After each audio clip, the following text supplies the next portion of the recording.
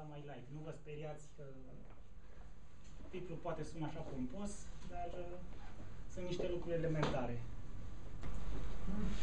Deci, de ce ne-ar folosi să știm despre teoria culorilor, despre uh, rațiuni de design? Nu trebuie să ne gândim că sunt neapărat niște lucruri foarte avansate. Le putem folosi chiar noi dacă ne facem o pagină de web și vrem să arate cât de cât decent, dacă facem un icon pentru aplicația la care lucrăm, dacă ne creăm o siglă, facem un afiș pentru evenimentul open source la care ne întâlnim cu toți sau chiar și o prezentare. În cauza asta e bine să alegem niște culori care să se potrivească, uh, să meargă unele împreună cu altele pentru a transmite bine mesajul. Nu vreau să intru în uh, teorie foarte mult, doar să menționez că o resursă foarte bună, Wikipedia, teoria culorii. Găsiți de aici uh, punctele de plecare în care explică baza teoretică a ceea ce vorbim în continuare. Este așa numitul uh, cerc al culorilor al lui Newton, care a fost uh, inventat și pus în forma asta circulară de Newton, că de asta se numește așa, în uh, o ordine, uh, în ordinea lungimilor de undă, deci pus circular. A fost, uh, a devenit cunoscut, uh, relativ cunoscut după ce poetul Ghiote și împreună cu un chimist au uh, publicat o carte despre teoria culorilor.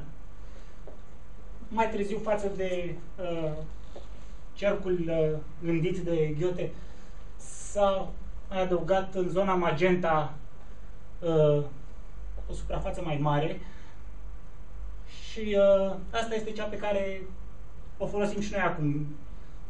În aplicații de grafică curente, de exemplu în GIMP, avem exact același cerc sau un Inkscape.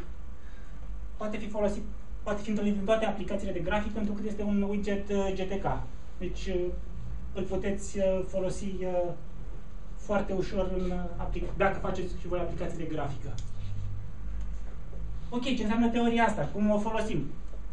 Este programul Agave, este un mic programel GTK care ne ajută să, să ne alegem culorile și să, le, să ne definim paletele de culori într-așa fel încât să obținem ceea ce vrem. Să vă arăt uh, cum se folosește programul foarte scurt.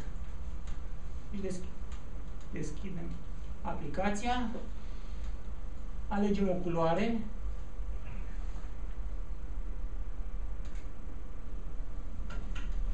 și putem vedea, ni se oferă, ni se sugerează așa numită culoare complementară.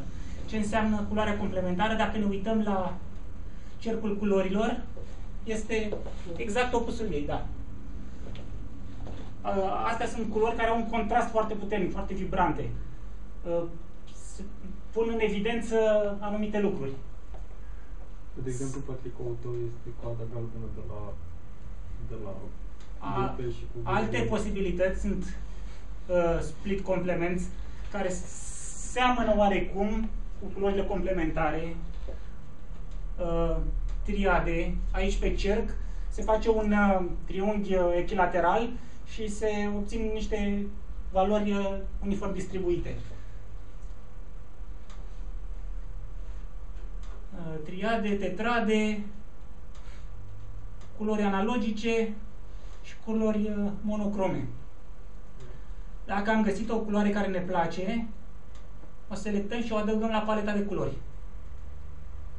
Dacă nu avem nicio idee, putem să căutăm random până nimerim ceva care ne place.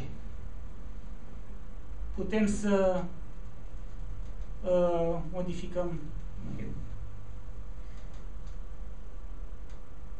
luminozitate sau uh, saturație pentru a obține diverse nuanțele aceeași culori. Să ne întoarcem la prezentare.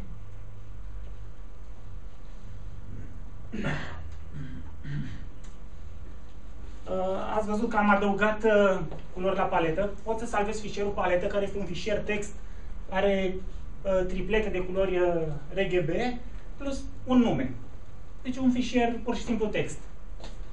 Acest uh, fișier poate fi folosit uh, în diverse aplicații care suportă formatul ăsta de palete, în Cinepaint, Inkscape, Krita, Amp Paint, Scribus, GIMP, plasate într-un uh, director pro propriu aplicației, aplicația îl recunoaște și poate fi folosit. Aici este în Inkscape, sunt uh, toate paletele instalate în sistem, se poate alege una, am, revin aici culorile și pot să le folosesc foarte ușor în aplicație.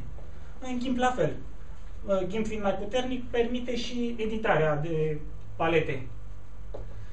Um, aplicațiile pe care le-am enumerat mai sus, multe dintre ele colaborează într-un uh, proiect, proiectul Create uh, de la freedesktop.org și sunt planuri ca pe viitor să folosească resurse comune. Deci, punând fișierul de palete într-o singură locație, să poată fi folosit de, de toate aplicațiile. Și atât. Sper că am mâncat, dar nu știu.